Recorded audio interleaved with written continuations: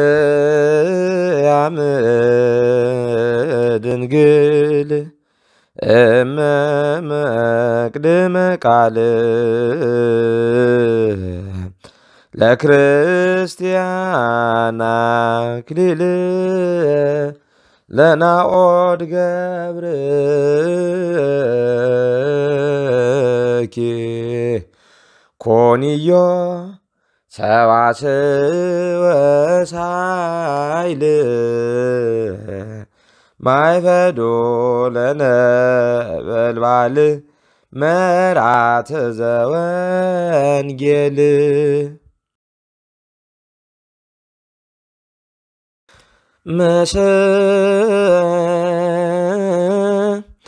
መሰረታቲሃ ውስተ አድባር ቅዱሳን ያበድሮን እግዚአብሔር ላና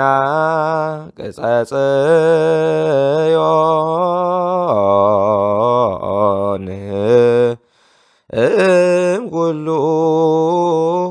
ታየኒሁ ለያዕቆብ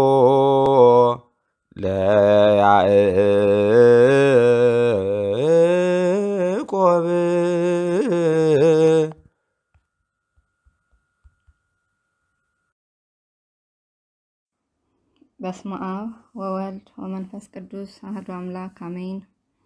የተወደዳችሁ የእግዚአብሔር ቤተሰቦች የእመቤታችን የቅድስት ድንግል ማርያም የአስራት ልጆች እንኳን ለጽንሰተ ማርያም በዓል በሰላም አደረሳችሁ። የእመቤታችን የቅድስት ድንግል ማርያም ጽንሰት በቤተ ክርስቲያናችን በየዓመቱ ነሐሴ ሰባት ቀን ከሚዘከሩ በዓላት መካከል የእመቤታችን የቅድስት ድንግል ማርያም ጽንሰት አንደኛው ነው። በዛሬው የሥነ ጽሑፍ መርሃ ግብራችንም የእመቤታችንን የመጸነስ ታሪክ በአጭሩ እናስታውሳችኋለን። የእመቤታችን የቅድስት ድንግል ማርያም ቅድመ አያቶች ቴክታና በጥሪቃ ይህ ቀራቸው የማይባሉ ባለጠጎች ነበሩ። ነገር ግን መካኖች ነበሩ። ዘራቸውን ባለመተካታቸውና ሀብታቸውን የሚወርስ ልጅ ባለማግኘታቸውም ያዝኑ፣ ይተክዙ ነበር።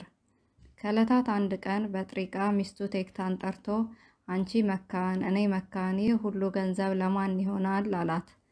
ቴክታም እግዚአብሔር ከእኔ ልጅ ባይሰጥህ ከሌላ ይሰጥህ ይሆናል። ሌላ ሚስት አግብተህ ልጅ አትወልድምን? አለችው። እርሱም ይህንስ እንዳላደርገው አምላክ እስራኤል ያውቃል አላት።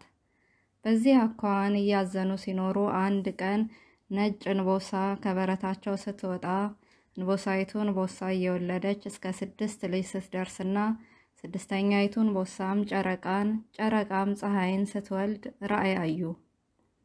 ራእያቸውን ለሕልም ተርጓሚ ሲነግሩም የጨረቃይቱ ትርጉም ከፍጡራን በላይ የምትሆን ልጅ እንደምታገኙ የሚያመለክት ነው። የፀሐይ ነገር ግን አልተገለጠልኝም፣ እንደ ነቢይ እንደ ንጉሥ ያለ ይሆናል አላቸው። እነርሱም ይህን ሲሰሙ ጊዜ ይተርጉመው ብለው ወደ ቤታቸው ተመለሱ። ከዚህ በኋላ እግዚአብሔር ጸሎታቸውን ሰምቶ ለዘር ሊያበቃቸው ፈቅዷልና መካኗ ቴክታ ጸንሳ ሴት ልጅ ወለደች። ስሟንም ሄኤሜን አለቻት። ትርጉሙም ስዕለቴን ምኞቴን አገኘሁ ማለት ነው። ሄኤሜንም ለአቅመ ሔዋን ስትደርስ ዴርዴን፣ ዴርዴ ቶናን፣ ቶና ሲካርን፣ ሲካር ሄርሜላን፣ ሄርሜላ ሀናን ወለዱ። ለሀናም ኢያቄም የሚባል ደግ ሰው አጋቧት። እርሱም እንደ በጥሪቃና ቴክታ መካኖች እነርሱም እንደ በጥሪቃና ቴክታ መካኖች ሆኑ። በእስራኤላውያን ባህል መካንነት የእርግማን ምልክት ተደርጎ ይቆጠር ነበርና ሀናና ኢያቄም ብዙ ዘለፋና ሽሙጥ ይደርስባቸው ነበር። በአንድ ወቅት መስዋዕት ለማቅረብ ወደ ቤተ መቅደስ ሄዱ። የዘመኑ ሊቀ ካህናት ሮቤል መካን መሆናቸውን ያውቅ ነበርና እናንተማ ብዙ ተባዙ ብሎ እግዚአብሔር ለአዳም የነገረውን ቃል ያስቀረባችሁ እርጉማን አይደላችሁምን? እግዚአብሔር ቢጠላችሁ እንጂ ቢወዳችሁማ ልጅ ይሰጣችሁ አልነበረምን? ብሎ መስዋዕታቸውን ሳይቀበላቸው ቀረ። አንድም ከአሮገ እስራኤል ወይም ከአረጋውያን እስራኤላውያን የተወለዱ ሰዎች የሚመገቡትን ተረፈ መስዋዕት እንዳይመገቡ ከለከላቸው። በዚህም እያዘኑ ሲመለሱ ከመንገድ ላይ ከልጆቻቸው ጋር የሚጫወቱ ርግቦችንና አብበው ያፈሩ እጽዋትን ሐና ተመለከተች። እርሷም ርግቦችን በባህሪያቸው መራባት እንዲችሉ እጽዋትንም አብበው እንዲያፈሩ የምታደርግ ጌታ እኔን ለምን ልጅ ነሳኸኝ ብላ አዘነች። ከቤታቸው ሲደርሱም እግዚአብሔር ልጅ ቢሰጠን ወንድ ከሆነ ለቤተ እግዚአብሔር ምንጣፍ አንጣፊ፣ መጋረጃ ጋራዥ ሆኖ ያገልግል፣ ሴት ብትሆንም መሶበ ወርቅ ሰፍታ መጋረጃ ፈትላ ስታገለግል ትኑር ብለው ተሳሉ። ከዚህ በኋላ ሐምሌ ሰላሳ ቀን ሁለቱም ራእይ አዩ። ሐና በሕልሜ ጸምር ወይም መጋረጃ ሲያስታጥቁህ በትርህ አፍርታ ፍጥረት ሁሉ ሲመገባት አየሁ ብላ ያየችውን ራእይ ለኢያቄም ነገረችው። ኢያቄምም ጻዕዳ ርግብ ሰባቱን ሰማያት ሰንጥቃ መታ በራስሽ ላይ ስታርፍ በቀኝ ጆሮሽ ገብታ በማጸንሽ ስታድር አየሁ ብሎ ያየውን ራእይ ለሐና ነገራት። ወደ ሕልም ተርጓሚ ሄደው ትርጉሙን ሲጠይቁም ደግ ልጅ ትወልዳላችሁ አላቸው። እነርሱም አንተ አልፈታኸውም ጊዜ ይፍታው ብለው ተመለሱ። በሌላ ጊዜ የእግዚአብሔር መልአክ ደግ ልጅ ትወልዳላችሁ ብሎ የሕልሙን ትርጉም ትክክለኛነት ነግሯቸዋል። ከዚህ በኋላ በብሉይ ኪዳን ዓመተ ዓለም በዓመተ ፍዳ ተፈጽሞ የአዲስ ኪዳን መግባት ሊበሰር ጌታችንም ሊጸነስ አስራ አራት ያህል ዓመታት ሲቀሩ በፈቃደ እግዚአብሔር ነሐሴ ሰባት ቀን እመቤታችን ቅድስት ድንግል ማርያም ተጸንሳለች። እመቤታችን ቅድስት ድንግል ማርያም በእናቷ በቅድስት ሐና ማኅፀን ሳለች ካደረገቻቸው ተአምራት መካከልም በርሴባ የምትባል ሴትን ዓይን ማብራቷ አንደኛው ነው። ይህች አንድ ዓይና ሴት እግዚአብሔር በረዴት ጎበኘሽ መሰለኝ፣ ጡቶችሽ ጠቁረዋል፣ ከንፈሮችሽ አረዋል ብላ የሐናን ማኅፀን በዳሰሰችበት እጇ ብታሻሸው ዓይኗ በርቶላታል። ይህንን አብነት አድርገውም እንደ እርሷ የሐናን ማኅፀን በመዳሰስ ብዙ ሕሙማን ከደዌያቸው ተፈውሰዋል።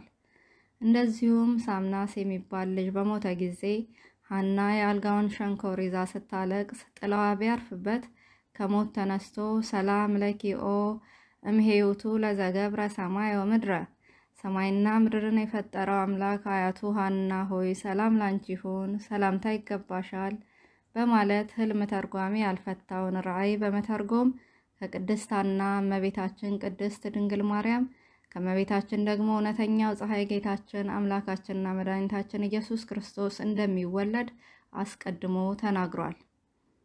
በአጠቃላይ ቀደሰ ማደሮ ልዑል ልዑል ማደሪያውን ቀደሰ፣ እግዚአብሔር ማደሪያውን መረጠ፣ አከበረ፣ ለየ በማለት ቅዱስ ዳዊት በመዝሙሩ እንደተናገረው አምላክን ለመውለድ የተመረጠችው ማህደረ መለኮት የዓለሙን ቤዛ በመውለዷ ቤዛዊተ ዓለም እየተባለች የምትጠራው በአምላክ ሕሊና ታስባ ትኖር የነበረችው የድህነታችን ምክንያት የሆነችው እመቤታችን ቅድስት ድንግል ማርያም በማኅፀን የተቋጠረችው ወይም የተጸነሰችው ነሐሴ ሰባት ቀን ነው። ጽንሰቷም እግዚአብሔር በባረከውና ባከበረው ቅዱስ ጋብቻ በተወሰኑት ወላጆቿ በቅዱስ ኢያቄምና በቅድስት ሐና ስርዓት ያለው ግንኙነት ነው። ኦ ድንግል አኮ በፍትወተ ደነስ ዘተጸነስኪ ያላ በሩካቤ ዘበሕግ እምሃና ወኢያቄም ተወለድኪ። ድንግል ሆይ በስጋዊ ፈቃድ የተጸነስሽ አይደለሽም፣ ሕጋዊ በሆነ ስርዓት ከሐና እና ከኢያቄም ተወለድሽ እንጂ እንዳለ አባ ሕርያቆስ በቅዳሴ ማርያም። ስለዚህም ኦ ማርያም በእንተዝን አፈቅረኪ ወናቤኪ እስመ ወለድኪ ለነ መብላ ጽድቅ ዘበአማን ወስቴ ሕይወት ዘበአማን። ማርያም ሆይ እውነተኛውን ምግብ እውነተኛውን መጠጥ አስገኝተሽልናልና እናከብርሻለን፣ እናገንሻለን በማለት አባ ሕርያቆስ እንዳመሰገኗት ዘላለማዊ ሕይወት የሚሰጠውን ከሞተ ሥጋ ከሞተ ነፍስ ማዳን የሚቻለውን እውነተኛውን ምግበ ሥጋ ወነፍስ ኢየሱስ ክርስቶስን ስለወለደችልን እናታችን እመቤታችን አማላጃችን የድህነታችን ምክንያት እያልን ቅድስት ድንግል ማርያምን እናከብራታለን፣ እናገናታለን፣ እናመሰግናታለን። የእመቤታችን የቅድስት ድንግል ማርያም በረከት አይለየን። እናቱን በአማላጅነት ራሱን በቤዛነት ለሰጠን ለልዑል እግዚአብሔር ክብር ምስጋና ይድረሰው። ወስብሐት ለእግዚአብሔር ወለወላዲቱ ድንግል ወለመስቀሉ ክቡር አሜን። ምንጭ ማህበረ ቅዱሳን ቅዳሴ ማርያም አንድምታ ትርጓሜ ምዕራፍ አምስት ከቁጥር ሰላሳ ስምንት በዲያቆን ኤፍሬም የኔ ሰው